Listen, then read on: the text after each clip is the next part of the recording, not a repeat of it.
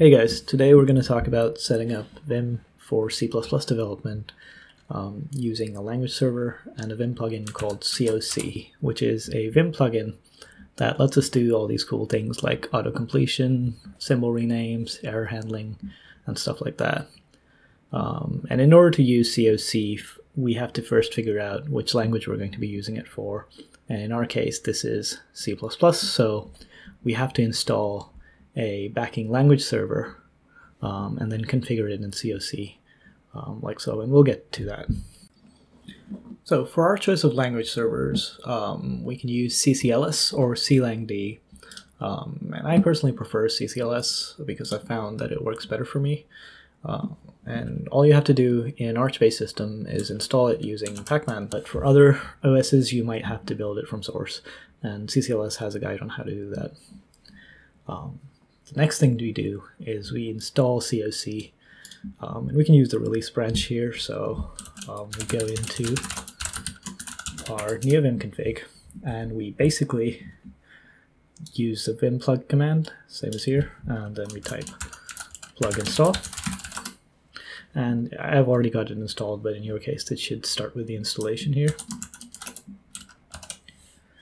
Once we have COC installed, we need to configure it so that it can talk to CCLS and use CCLS for all C++ um, options that it needs to do.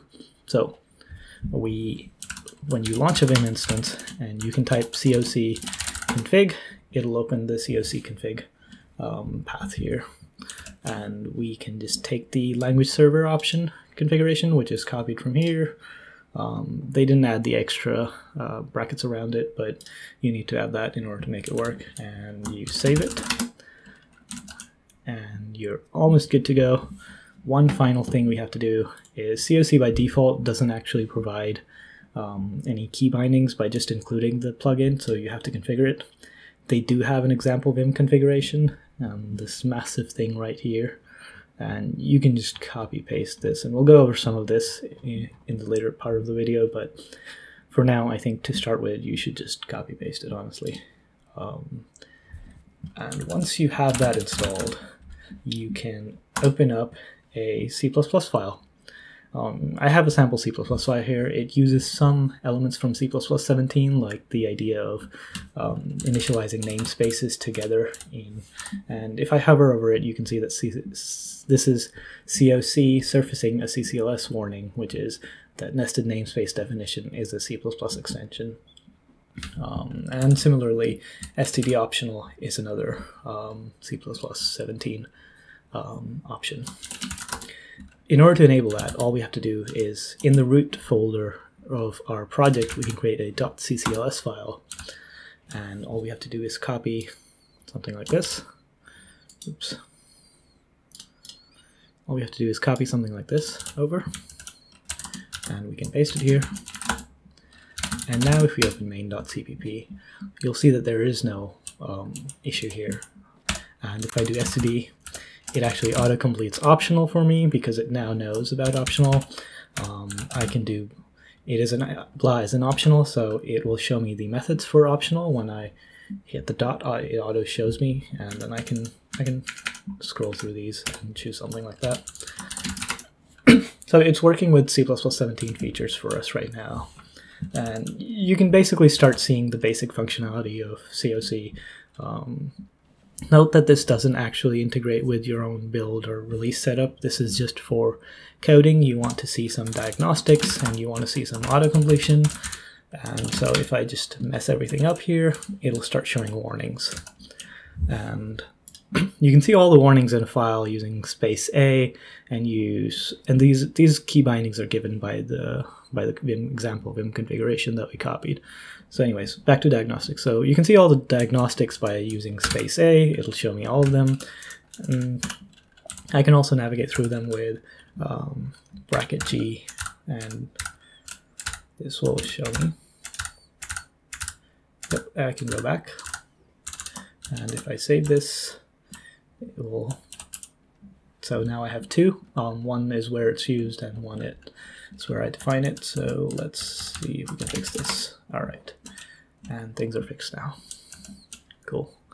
Um, yeah, tab by default does completion for us, um, and we can use just I can do blah dot and tab will do completion for us if it isn't showing by default. Um, we have GD for jump to definition, so I'm on B. Um, B will actually not jump to definition. I can do GR because B is an object of type blah, so I can use BR to, uh, sorry, GR, uh, GY to jump to the type definition. But if I'm on the object type itself, if I do GD, it'll jump to that type defin to definition. I can use GD on foo, and it'll jump to foo here. Um, and this works across files as well, so let me actually do that. Let me create a file called blah.h and let's set it to have once and let's actually take this entire thing here and put it here. Let's take the optional as well, put it here, and let's do include um, blah.h. Alright, cool. Yep, so our header file is actually having issues understanding this, this is a C++17 file, and the reason for that is if you saw our CCLS file, it said to include enable C++17 for CPP files. If we do percent %h here, and I think we have to relaunch. Um, All right, this takes care of things for us, and we can do. Um, let's open the source file as well. So now um, it doesn't understand yet because it doesn't have IO stream for us, and let's add that. All right, so now we have a header file and a source file that includes that header files. Um, and now if we do gd on this foo, it will actually navigate to the header file itself. So you can do control O to go back to the call stack. So if I do gd again, it goes back here. That works. I can do gd on blah, it'll take to, I can do gy on blah, b, it'll take to the definition. So you can see that it works across files. A few other things we can take a look at. Um, we have K for showing documentation. So I'm calling foo, but I want to know, I want to see the documentation associated with it. I can do shift K um, to see the documentation. And there's nothing there right now, but if I open up blah.h and let's say I add some documentation, foo is a really cool function. And I close this. And now if I do Shift K, it will show the documentation associated with the function as well. So when I do b.foo, it just shows the function, but if I use Shift K on it, it will show that foo is a really cool function. And let's see what else. Leader RN for renaming. I want to rename foo to something else, so I can do leader RN, and I can do foo foo, right? So, and so it changed it in two buffers. You, you'll see that at the bottom, COC notified us, and if we do save all, it actually say writes to blah.h as well because it has blah.h open in a buffer. If I do gd here, you can see that it renamed it in blah as well. And we have some nice bindings for selection inside classes and functions. And this is informed by, so regularly, like uh, I can use, uh, basically, this is informed by CCLS. So if I use VI and if I use the, the, the curly brackets, it selects inside this.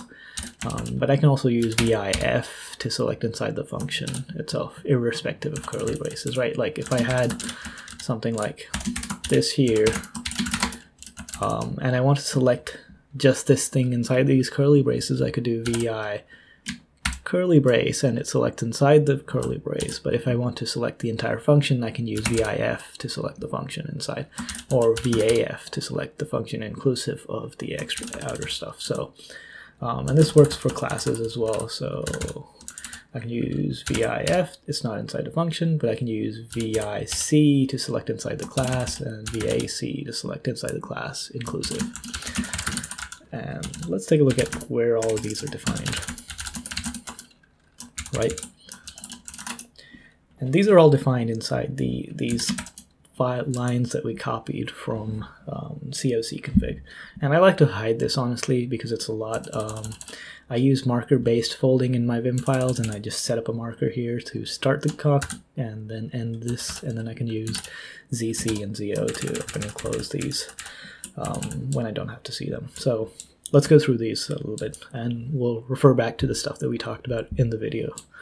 Um, some of this is just making things work, command height, like you'll see that this height for status lines was bumped up to 2 because it's easier a lot of times to display messages. Um, tab for completion, um, control space can also trigger completion.